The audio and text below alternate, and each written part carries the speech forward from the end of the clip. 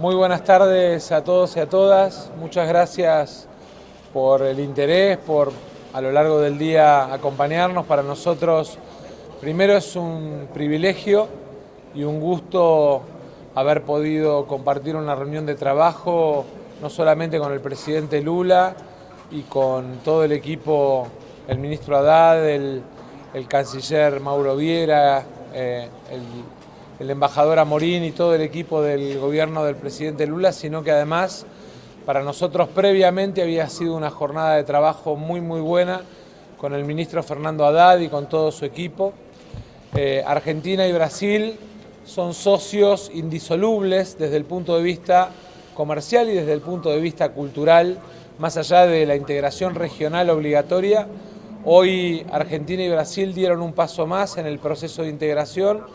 desde el punto de vista físico, porque renovamos el acuerdo Santo Tomé Borgia, que de alguna manera nos permite seguir administrando con el Centro de Gestión y Documentación todo el proceso de cruce de frontera y la facilidad logística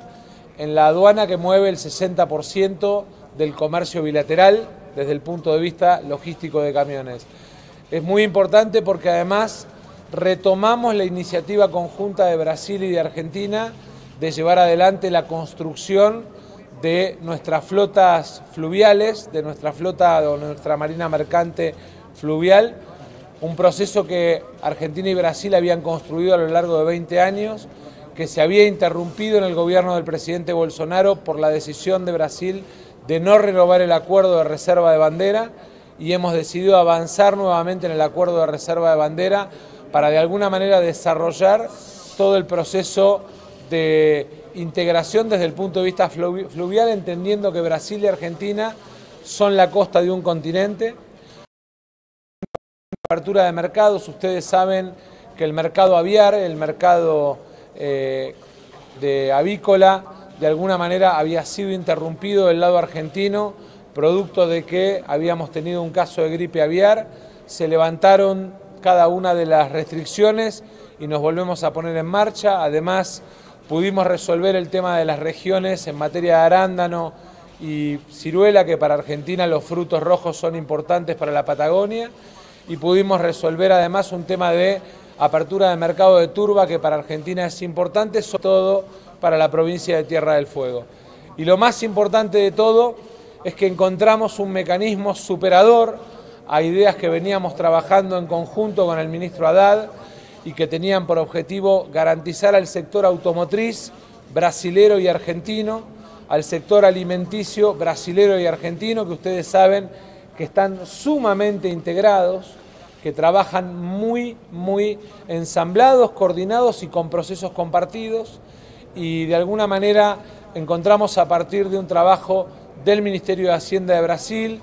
del Banco BNDES, del Banco do Brasil, del Ministerio de Economía Argentina, con el apoyo y la garantía del Banco de Desarrollo Latinoamericano, que es la CAF, un instrumento de financiamiento de las exportaciones argentinas a Brasil, eh,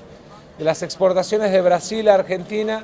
por 600 millones de dólares, que además repercute en el financiamiento de las eh, eh, exportaciones de Argentina a Brasil porque ustedes saben que cada 600 millones de dólares que importa Brasil a la Argentina en materia automotriz son 600 millones de dólares que vuelven de Argentina a Brasil en materia automotriz por el ensamble y la sinergia que tiene nuestra industria automotriz. Esto resuelve el proceso que en algún momento por las dificultades que la sequía le impuso a la Argentina, Argentina tiene la peor sequía de su historia, perdió el 21% de sus exportaciones por la sequía y de alguna manera eso dañó la capacidad de administrar de una manera ordenada las reservas y nos impactó. Y en esto el trabajo conjunto entre Brasil y Argentina no solamente es un paso muy importante, sino que además es la consolidación de un sector, estratégico. Por último, aprovechar para contarles que aprovechamos y mucho la reunión con el presidente Lula y con el ministro Haddad para charlar sobre el enorme paso que hemos dado regionalmente con la incorporación de Argentina o la invitación de Argentina a integrarse a los BRICS eh, por parte de los países fundadores del BRIC, eh, una propuesta y una iniciativa que llevó adelante el presidente Lula. Eh, ustedes lo han visto acá en Brasil, en Argentina también ha tenido mucho impacto. Y me gustaría aprovechar para contarles que en términos de tamaño, para que los argentinos entiendan la importancia de la relación comercial de Argentina con Brasil y la importancia del BRICS, por un lado estamos hablando del 46% de la población del mundo integrada en el bloque de los BRICS, estamos hablando del 36% del PBI mundial. Y además en el caso de la relación de Argentina y Brasil, estamos hablando de uno de los dos principales socios comerciales de la Argentina.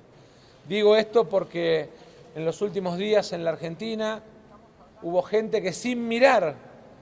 el impacto que tiene en la economía argentina, empezó a hablar de romper el Mercosur, de rechazar la idea de comerciar con los BRICS, sin entender que el destino de Argentina y Brasil están indefectiblemente atados porque entre los dos además somos los dueños de casi el 20% de las proteínas que consume el mundo. Así que agradecerle al ministro Haddad que ha sido un anfitrión fabuloso. Eh, el trato, el cariño, el respeto, eh, pero sobre todas las cosas la buena voluntad de entender que en este momento crítico de la Argentina, la hermandad y la relación de trabajo conjunto es la que más nos fortalece. Así que gracias, ministro.